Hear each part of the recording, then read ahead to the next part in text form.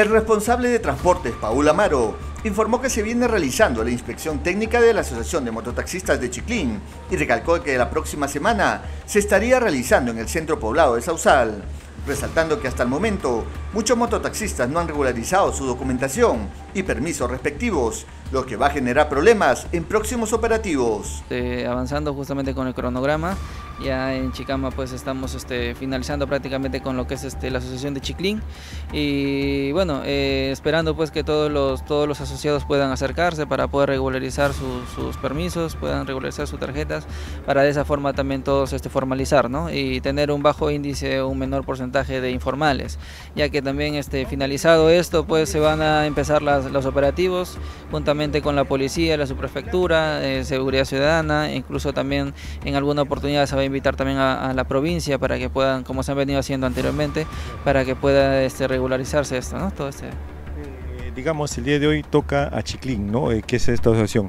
¿Cuántos asociados tiene esta asociación? Bueno, Chiclín, Chiclín es una de las asociaciones que tiene el menor número aquí en, el, aquí en el pueblo de Chicama.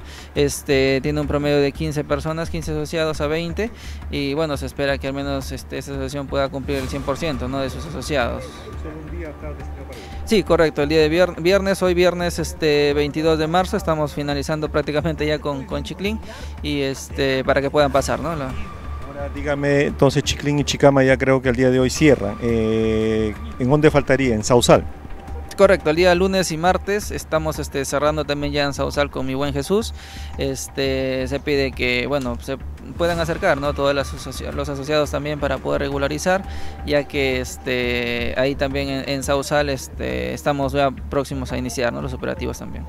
Eh, del 30-40%, la, la verdad es que a, diferencia o, comparación del año pasado es menos ¿no? el, porcentaje en este caso. Eh, la verdad es que yo creo que los asociados están esperando quizás los operativos para poder formalizar todavía, pero por eso se les pide que por favor puedan hacerlo de una vez, ya que luego pueden evitar cualquier inconveniente, ¿no? un malestar, porque las personas la verdad es que hasta nosotros mismos nos, y es un poco tedioso, un poco este molesto quizá este pararlo, realizar todo el trámite y bueno, para que puedan formalizar algo que pueden hacer rápido y pueden hacer este de una vez en estas fechas, ¿no? Lamentó también la ausencia de los mototaxistas en la última reunión que se programó con la Policía Nacional, su prefectura y Serenazgo, demostrando su falta de interés. Casualmente el día, el día este miércoles se realizó, se intentó realizar una reunión juntamente con los